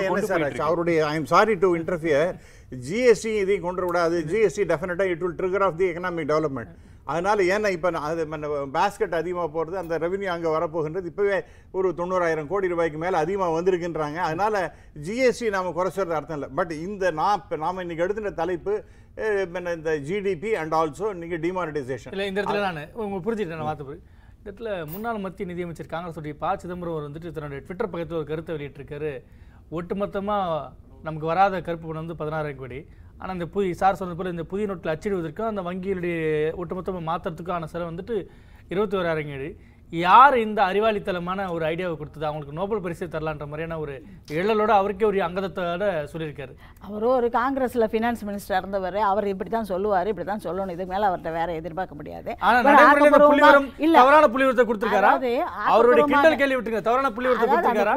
எந்த புள்ளி விவரத்தை எப்படி இன்டர்பிரட் பண்றோங்கிறது வேற விஷயம். இதுல அதாவது அதாவது வந்திருக்கிறதுன்னா அவர் தம்பி சொன்னாரு ஒரு நல்ல பாயிண்ட் நம்ம இந்தியாவுல வந்து ஹவுஸ் ஹோல்ட் சேவிங்ஸ் வந்து எப்பவுமே ஜாஸ்தி. இருபத்தி மூணு இதெல்லாம் ரொம்ப அபரிதமிதமானது. ஆனால் இதெல்லாம் எங்கே இருக்குது இதெல்லாம் இன்வெஸ்ட் ஆகுதா? உற்பத்திக்கு உபயோகப்படுதா? அப்படின்னு சொல்லும்போது இல்லை. நிறைய இடங்களில் தங்கமாகவோ இல்லை பணமாகவோ அப்படியே வைக்கப்பட்டிருக்கிறது. அது மாதிரி சேவிங் இருக்கிறது. அதனால் இதை தான் வந்து நம்ம அக்கௌண்ட் வங்கிகளில் கொண்டு வரணும். எல்லாருக்கும் வங்கி கணக்கு இருக்க வேண்டும் என்பது முதல் திட்டமாக ஜன்தன் திட்டம் கொண்டு வரப்பட்டது. அதனால் எல்லாருக்கும் வங்கி அக்கௌண்ட் கிடைச்ச உடனே அவங்களுக்கு அது இனிஷியேட் பண்ணி கொடுத்தோம். அது இனிஷியேட் பண்ணோன்னா அதில் பணத்தை போடுறதுக்கு அவங்களுக்கு வாய்ப்புகள் வந்தது. ஆகையினால பணம் வந்து நம்மளுடைய சு- பணம் வந்து வெலாசிட்டி ஆஃப் சர்க்குலேஷன் ஆஃப் மணின்னு சொல்லுவோம். பணம் வந்து நம்ம ஒரு பணம் வந்ததுன்னா அஞ்சு அளவுக்கு அந்த மல்டிப்ளையர் எஃபெக்டோட அந்த வங்கியோட தியரியே என்னன்னா அது அஞ்சு அளவுக்கு அந்த பண உற்பத்தி வந்து அதிகரிக்கும். அந்த. பண்ணிக்கலாமா? இருங்க, இது ஐந்து மடங்கு பாதிப்பு ஏற்படுத்த இன்டர்பிரட் பண்ணிக்கலாமா? பாதிப்பு ஏற்படுத்தாது. உள்ள வந்துருச்சு இல்லையா? இன்னும் லிக்விடிட்டி நமக்கு நிறைய இருக்கு. செலவழிக்கிறதுக்கு நிறைய பணம் இருக்கு. வங்கிகள்ல கடன் இருக்கு. என்ன விஷயம்னா இந்த குறுகிய காலத்துல வந்து கட்டடத்துறையோ சர்வீஸ் செக்டாரோ ஒரு லிஃப்ட் வரல. அவங்களாம் இன்னும் யோசிச்சுக்கிட்டே இருக்காங்க. இன்னும் வந்து ஏற்கனவே ஒரு பபுள் இருந்தது. இந்த பிளாக் மணி இருந்ததுனால எக்கானமியில் ஒரு பபுள் இருந்தது. அந்த பணம் அங்கே இன்வெஸ்ட் ஆகி ஆகி நிறையா வந்து கட்டடங்கள் கட்டி விற்காமலாம் இருக்கு. ஆகையினால இந்த துறையெல்லாம் மறுபடியும் அவங்க வந்து ரிவைவ் பண்ணுறதுக்கு இன்னும் தயாராகி வரல. ஏன்னா அதனால ஏன்னா பிளாக் மணி இன்வெஸ்ட் ஆகி உள்ள கடை உள்ளே இருக்கு.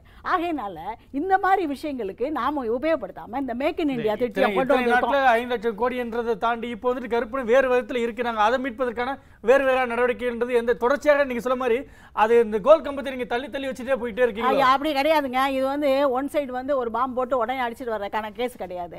இருக்கிறத வந்து சுவிஸ் வங்கியிலயோ வெளிநாட்டுல இருக்கிறதோ முதல்ல கொண்டு வரணும். அடுத்தது வந்து இங்கே இருக்க கருப்பு பணங்களே புழக்கத்துக்கு வரணும். இங்க வந்து உபயோகப்படாமல் மக்களிடம் பதுக்கி வைக்கப்பட்டு இருக்கிற சும்மா ஐடியா மூணு வருஷமா கேட்டுட்டு இருக்காங்க. எல்லாரும் கேட்டுட்டு தான் இருக்காங்க. அதாவது கேட்டுட்டு இருக்கதை நீங்க இது வந்து என்னன்னா பணம் வந்து சோம்பேறியா உள்ள உட்காந்துருக்க கூடாது அந்த பணத்தை சர்க்குலேஷனுக்கு விடணும். அதுதான் அந்த வங்கிகளுக்கு கொண்டு வந்தது. இந்த டிமானிட்டைசேஷன் ஓரளவுக்கு அதுக்கு உதவி அப்படி பண்ணியிருக்கிறது. புது ரத்தம் பாய்ச்சப்பட்டால் அது எந்த அளவுக்கு தொழில்துறைக்கு எல்லாருக்கும் இருக்க இருக்கதை நம்ம வெளியே கொண்டு வந்து அதை சர்க்குலேஷனுக்கு விடுறோம். இதை மேக் இன் இந்தியாவுக்கு யூஸ் பண்ண போறோம்.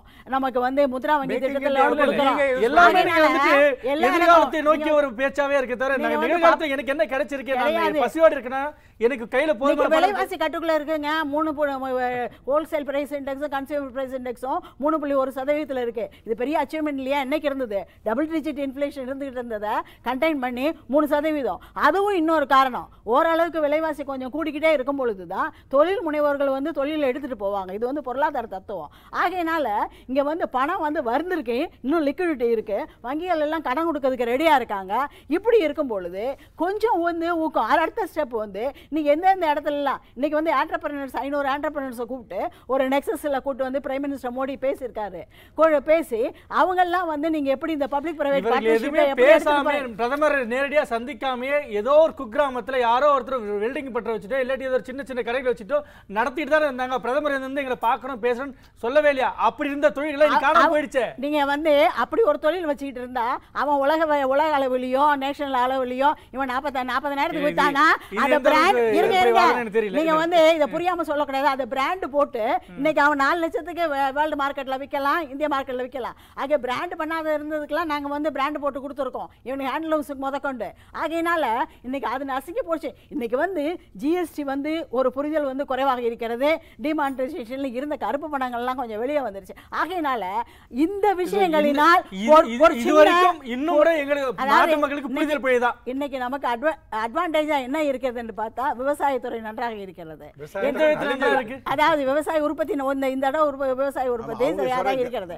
அதே சமயத்துல நமக்கு வந்து என்னன்னா சர்வீஸ் செக்டாரும் இண்டஸ்ட்ரியல் செக்டாரும் இன்னும் கொஞ்சம் அவங்க கொடுத்து மேல வரணும். மேல வர்றதுக்கு இந்த ஜிஎஸ்டி வந்ததுனால ஒரு சுணக்கம் இருக்கிறது இருக்கிற உற்பத்தி ஏற்கனவே ஸ்டாக் இருந்ததெல்லாம் வெளியே விட்டுட்டு இருக்காங்க நானும் பிசினஸ் ஹவுசஸ் எல்லாம் கேட்டேன். என்ன ஆச்சு உங்களுக்கு? ஏன் வந்து இந்த உற்பத்தி எல்லாம் நிறைய பண்ணலையேன்னு பிசினஸ் ஆடி தள்ளுபடி கிட்டத்தட்ட ஒரு வருடத்துக்கு ஈவன் வந்து பெரிய தொழில் முனைவோர்கள் அதே சமயத்தில் வர்த்தகர்கள் வியாபாரிகள் இவரெல்லாம் கேட்டா அந்த ஸ்டாக் இருந்தது. நம்மளுடைய பாலிசி என்ன ஹோர்டிங் இருக்கக்கூடாது.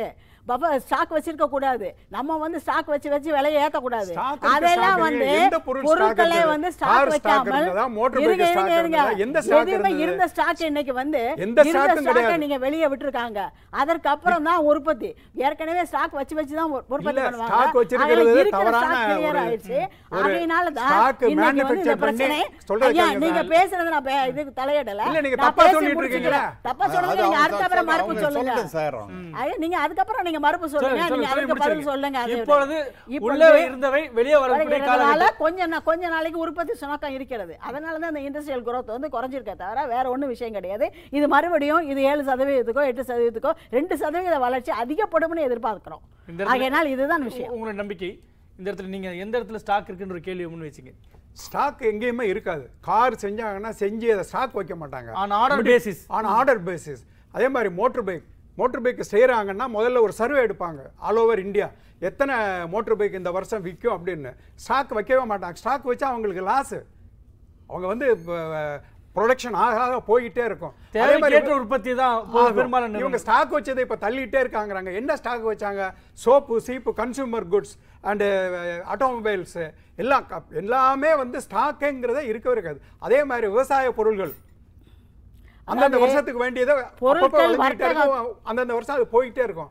ஆக ஸ்டாக் வச்சு அதெல்லாம் வெளியே வருது. அதனால ஜிஎஸ்டி கொஞ்சம் நேரம் ஆகுங்கிறது வந்து ஒரு தப்பான ஒரு இது. அதைத்தான் நான் சொல்ல வந்தேன். வேற என்ன வேற என்ன கேளுங்க. ஓகே இந்த இடத்துல இந்த ஒரு கேள்வி அதாவது இதுக்கு நான் பதில் சொல்லிடுறேங்க.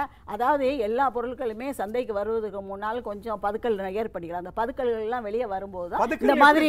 விஷயங்கள் நடக்கிறது. இல்லை இது ஒரு பொதுவான கருத்தை தான் பார்க்க முடியுது. இந்த இடத்துல இந்த ஸ்டாண்டிங் பார்லிமெண்ட் ஸ்டாண்டிங் கமிட்டி நாடாளுமன்ற நிலைக்குழு சீரான ஜனவரி மாதமே கொடுத்துருக்க வேண்டியது. தற்போது வந்துட்டு ஆகஸ்ட் மாதம் தான். எட்டு மாதம் தள்ளி போவதற்கு காரணம் நிச்சயமாகவே அந்த பண கணக்கெடுக்கிற பணி தாமதமானதா? இல்லை இதற்கு பின்னால் வேறு என்ன மாதிரியான பொருளாதார ஒரு காரணங்கள் இருக்கக்கூடும்? சார் எனக்கு முக்கியமாக எனக்கு எனக்கு இதை பற்றி நல்ல அபிப்பிராயம் ஆரம்பத்தில் இருந்தாலும் கூட எனக்கு எப்போவுமே டாக்டர் சுப்பிரமணிய சாமி பேசுறதுல நான் ரொம்ப மரியாதை கொடுப்பேன். ஏன்னா he is a brilliant economist ஆகவே அவர் ஆரம்பத்துலேருந்து சொல்லிட்டு இருக்கார். அவரும் பிஜேபியில் மிக முக்கியமான தலைவர்.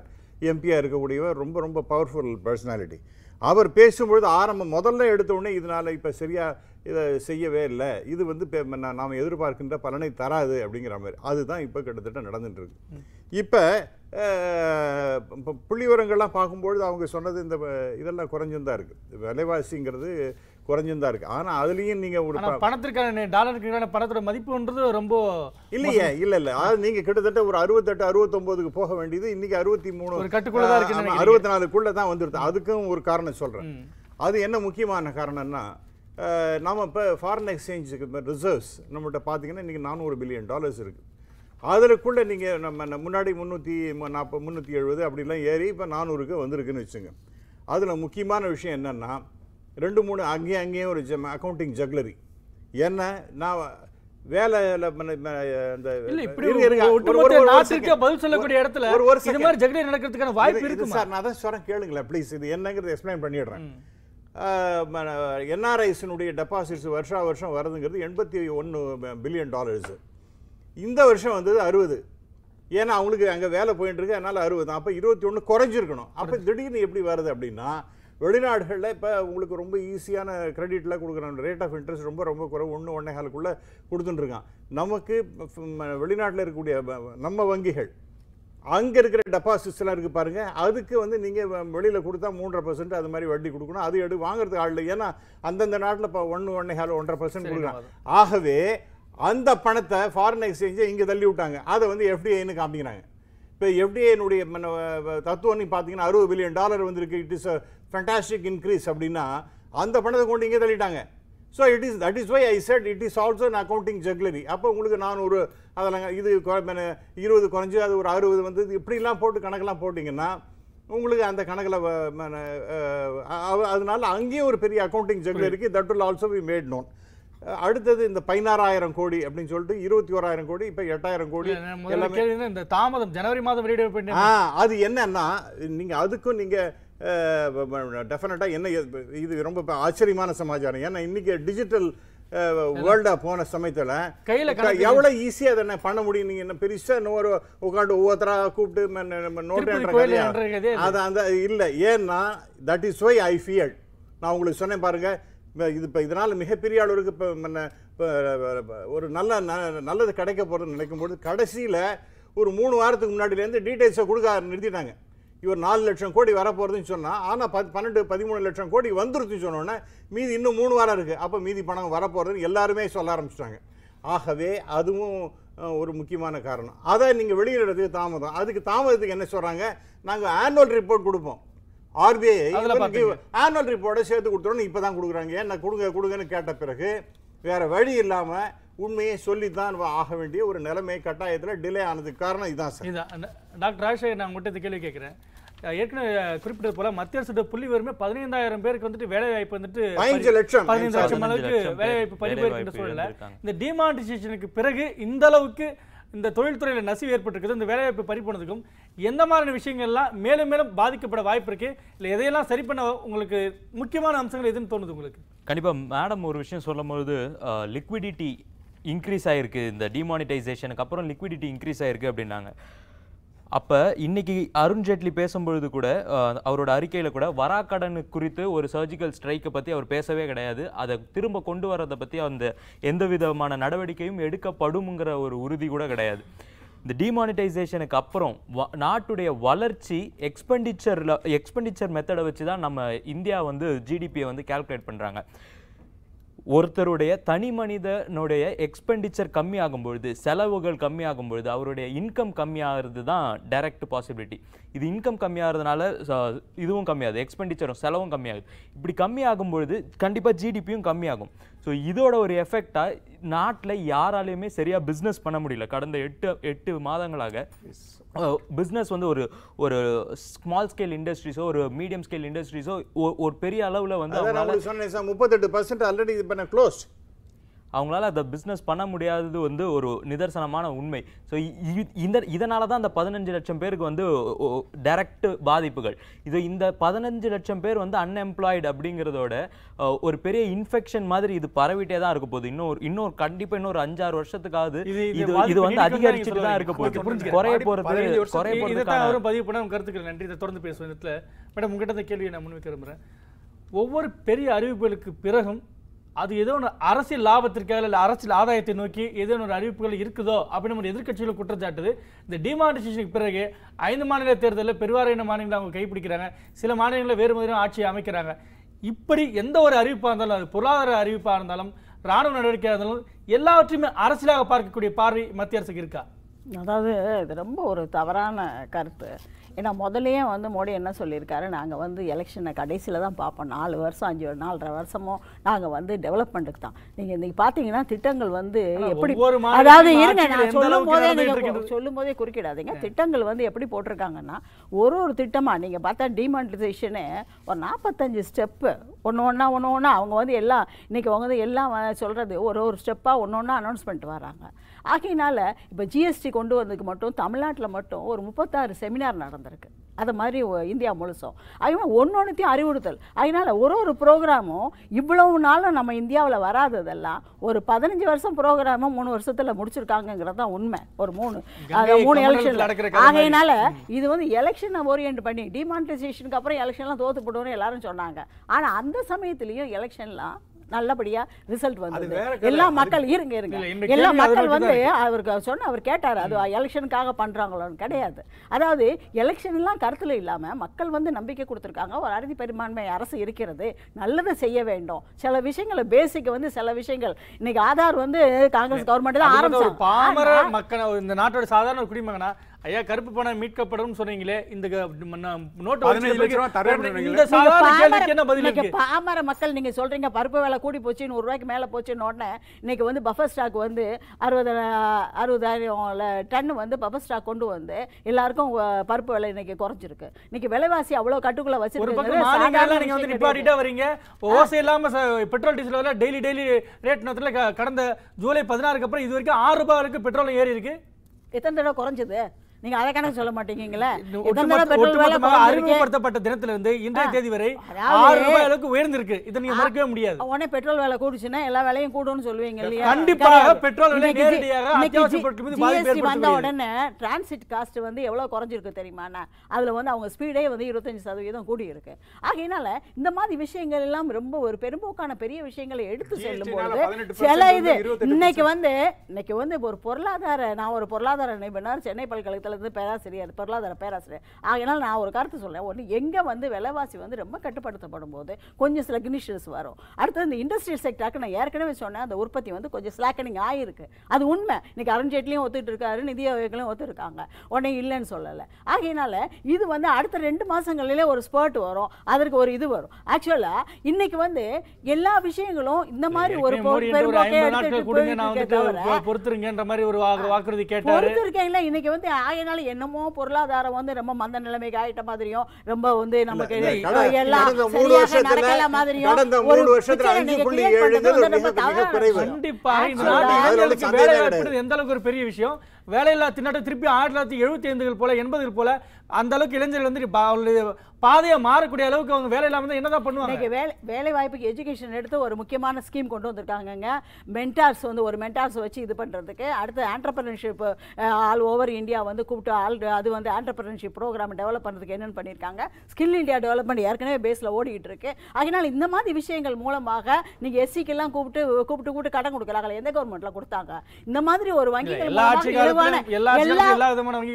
எல்லாம் வந்து நீங்க மக்களை போய் நீங்கள் வந்து ஏதோ எதிராக வந்து சாதாரண கேள்வி. கருப்பு பணம் வந்துடும் ஒரு நம்பிக்கையில காத்திருந்தவர்களுக்கு இந்த புள்ளி விவரம் ஒரு பெரிய பேரிடியா இருக்கு அதுதான் இந்த புள்ளி விவரம் வந்து நீங்க இன்னொரு விஷயமும் இதுல பார்க்கணும். நம்ம வங்கிகள் வந்து இந்த மாதிரி ஒரு சின்ன ஒரு மேல் எல்லாம் கொஞ்சம் பண்றதுக்கு அலோவ் பண்ணியிருக்காங்கங்கிறது விஷயம். ஆகையினால எத்தனை வங்கி அதிகாரிகளை இவங்க சஸ்பெண்ட் பண்ண முடியும்? என்ன நடவடிக்கை பண்ண. முடியும் நடவடிக்கை எடுக்கப்பட்டு எல்லாத்தையும் வந்து சஸ்பெண்ட் பண்ண முடியாது. ஒரே நல்ல பண்ணிட முடியாது. ஆகையினால இதுக்கு அடுத்த ஸ்டெப் என்ன வரும்னு எதிர்பார்க்குறோம். ஒரு விஷயம் பண்றோம். பண்ணும்போது நல்லது நடக்கணுங்கிறது. நல்லது நடக்கலாம வேற மாதிரி விஷயங்கள் நடக்கும்பொழுது. இதை எப்படி கொண்டு போகணுங்கிறதையும் அரசாங்கம் பார்க்கிறது. அதையும் செய்து கொண்டு இருக்கிறது. அடுத்தது உங்க நீங்க கருத்துக்கு சொன்ன மாதிரி. பினாமி சட்டங்களுக்கும் சட்டம் நிறைவேற்றப்படுகிறது அதற்கும் ஆக்ஷன் எடுக்கப்படுகிறது. ஆகையினால இன்னைக்கு ஜிஎஸ்டிங்கிறது பெரிய விஷயம். இன்டைரக்ட் டாக்ஸ் எவ்வளவு ஜிஎஸ்டின்ற ஒரு வாதத்தை முன்வைத்து கொண்டு அதாவது ஒரு கோட்டை அழிக்காம அந்த கோட்டை சின்னதாக்குற மெத்தட் மாதிரி நாங்க ஜிஎஸ்டி நாங்க கொண்டு வந்துட்டு அது பெரிய அளவுக்கு பலன்களை தர ஆரம்பிச்சிருக்கோம் இல்ல அது மறந்துருக்கீங்க நீங்க சொல்றது ஜிஎஸ்டி வருமா அப்படின்னு சொல்லிட்டு உலகத்துல எல்லாம் பேசிட்டு இருந்தாங்க. ஆனா இந்த நேரத்துல நம்ம உலகத்துல யாரும் பேசல. பண்ணிட்டு இருந்தது நான் முடிஞ்சது ஜிஎஸ்டி நம்மளுடைய வைத்துக்கொண்டு நீங்க டிமானிட்டைசேஷன் ஒன்று மில்லியன் சொல்றது எந்த இடத்துல நியாயம்ன்றது எனக்கு கேள்வி. டிமானிட்டைசேஷன் வந்து நீங்க தவறான இந்த- விஷயமே சொல்ல முடியாது. மறுபடியும் ஒண்ணும் நல்ல விஷயம் மறுபடியும் நான் திருப்பி இவர்கிட்ட தான் போக விரும்புகிறேன் டாக்டர் சுப்பிரமணிய சுவாமி. ஏன்னா அவர் என்ன சொன்னார்னா மற்ற நாடுகளில் இந்த டிமானிட்டைசேஷன் பண்ணினாங்க. அதெல்லாம் ஒன்றும் சக்ஸஸ் ஆகலை. இவங்க வந்து த ம- தயாரிப்பு இங்கே சரி கிடையாது. திடீர்னு ஏதோ பண்ணுறாங்கன்னு இது வரைக்கும் ஏழு நாடுகளில் இந்த டிமானிட்டைசேஷன் அது வந்து வந்தது. அது அவ்வளோ நாட்டையும் ஃபெயிலியர் பிரசில் எடுத்துங்க மற்ற ஆப்பிரிக்கன் கண்ட்ரிஸ் எதை எடுத்துட்டாலும் பாகிஸ்தான் எடுத்துங்க எங்கே போனாலும் உங்களுக்கு எல்லா இடத்துலையும் ஃபெயிலியர் அதனால் கொஞ்சம் தயவுசெய்து இதெல்லாம் நீங்கள் சரியான முறையில் அதை பாருங்கள் அப்படின்னு நமக்கு அறிவுரை சொன்னது டாக்டர் சுப்பிரமணிய சுவாமி. ஆனால் அவர் வந்து ம- அதுக்கு மேலே அவர் சொல்ல முடியாது அதை அப்படியே நிறுத்திட்டார் அவர். ஆகவே நிச்சயமாக டிமானிட்டைசேஷனால் நிறைய பலன் நாம் எதிர்பார்த்தது என்னென்னா ஏதோ வரப்போகிறது கடைசியில் பார்த்தீங்கன்னா நூற்றி பதினாலு பேர் செத்து போனாங்க. நிறைய பேருக்கு பணத்தை வாங்குறதுக்கு நூறுரூவா இரநூறுவாய்க்கே கஷ்டப்படுற மாதிரி நிலைமை வந்தது.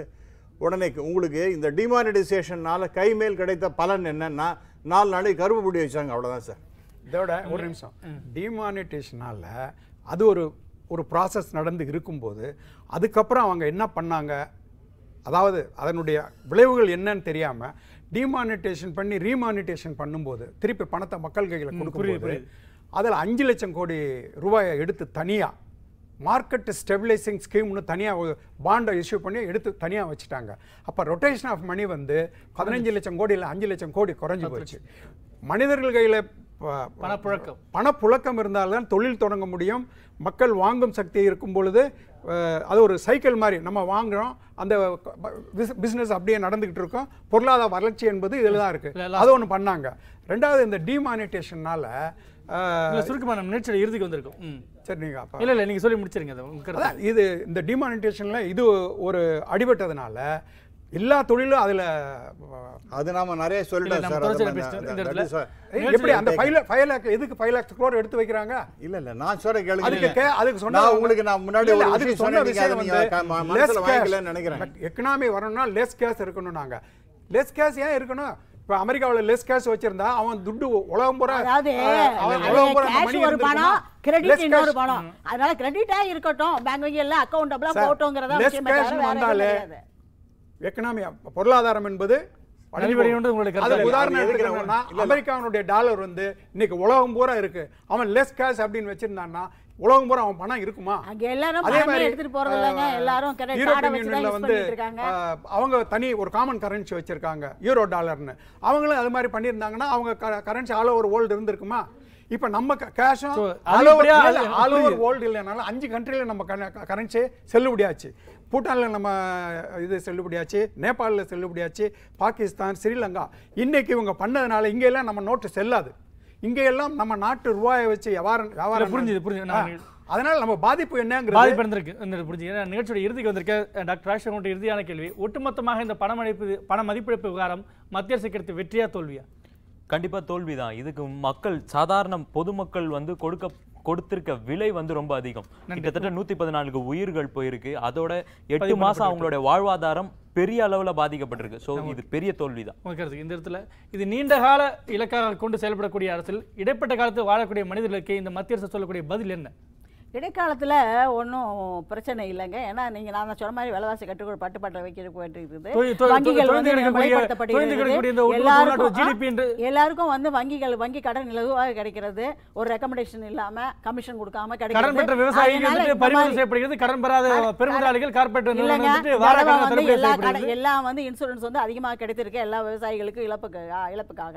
சும்மா இதெல்லாம் மிகைப்படுத்தி கூடுவது வந்து தவறான விஷயம். இன்றைக்கு எல்லாம் பொருளாதாரம் நல்ல நிலைமை நோக்கி தான் போய் இந்த கொண்டு இடத்துல இந்த இடத்துல பணமதிப்பு விவகாரம் ஒட்டுமொத்தமாக டிமானிட்டேஷன் இல்லாமல் இவங்க வந்து இவங்களுடைய இந்த தி- திட்டம் டிமானிட்டேஷன் கொண்டாடுறது இதற்கு வராக்கடன் ஆகிய பத்து லட்சம் கோடி ரூபாய் பத்து லட்சம் கோடி ரூபாய் அவங்க கிட்ட இருந்து எப்படி வசூல் செய்வது. வசூல் செய்தது என்ற அந்த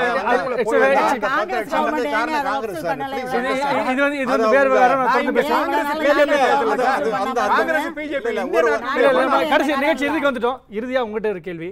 இந்த எட்டு மாத காலத்துக்கு முன்னாடி இருந்த மாதிரியான ஒரு போக்கு ஜிடிபியில இனி அடுத்த காலத்தில் வருவதற்கு இந்த டிமானிட்டேஷன் எந்த அளவுக்கு உதவியா இருக்கோ இல்லாட்டி சிக்கலா இருக்கும். உதவியே கிடையாது. நான் தான் சொன்னேன் ஏழுல ஏழு புள்ளி ஒம்போதுலேருந்து இப்போ உங்களுக்கு அஞ்சு புள்ளி ஏழு வந்திருக்கு.